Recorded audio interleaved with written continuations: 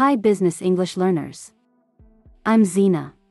Welcome to my new channel, AI Business English Academy.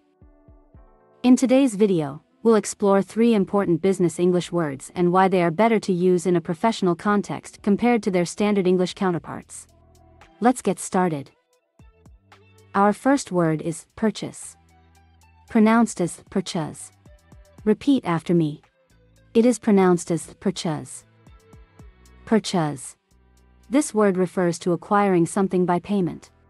In business, it's more appropriate to use purchase instead of buy. Why?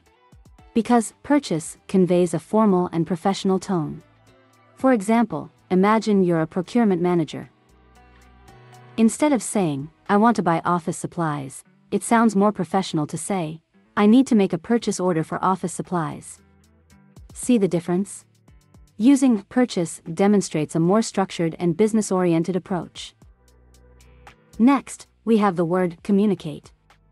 Pronounced as communicate. Repeat after me. It is pronounced as communicate. Communicate. This word encompasses the exchange of information, ideas, and thoughts. In business, communicate is preferred over talk. Why? Because effective communication is crucial in a professional environment. For example, imagine you're discussing a new marketing strategy with your team. Instead of saying, let's talk about our plans, it's more appropriate to say, we need to communicate the new marketing strategy to the team. Using communicate highlights the importance of clear and effective information sharing in a business context.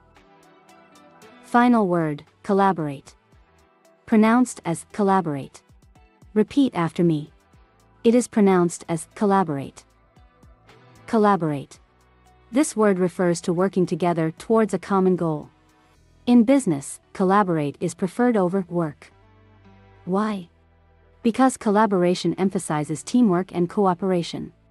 For example, imagine you're working on a project with your colleagues. Instead of saying, I need to work on this project, it's more appropriate to say, we should collaborate on this project to ensure its success.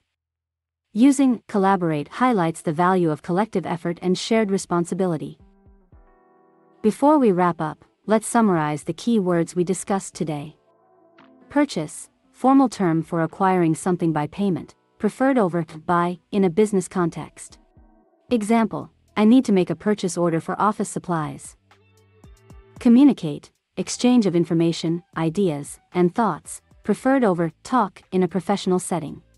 Example We need to communicate the new marketing strategy to the team. Collaborate, working together towards a common goal, emphasizing teamwork and cooperation. Example We should collaborate on this project to ensure its success. And there you have it. Three essential business English words and why they are better to use in a professional context. Remember, mastering these words will enhance your communication skills in the business world. Thanks for watching, and I'll see you in the next video.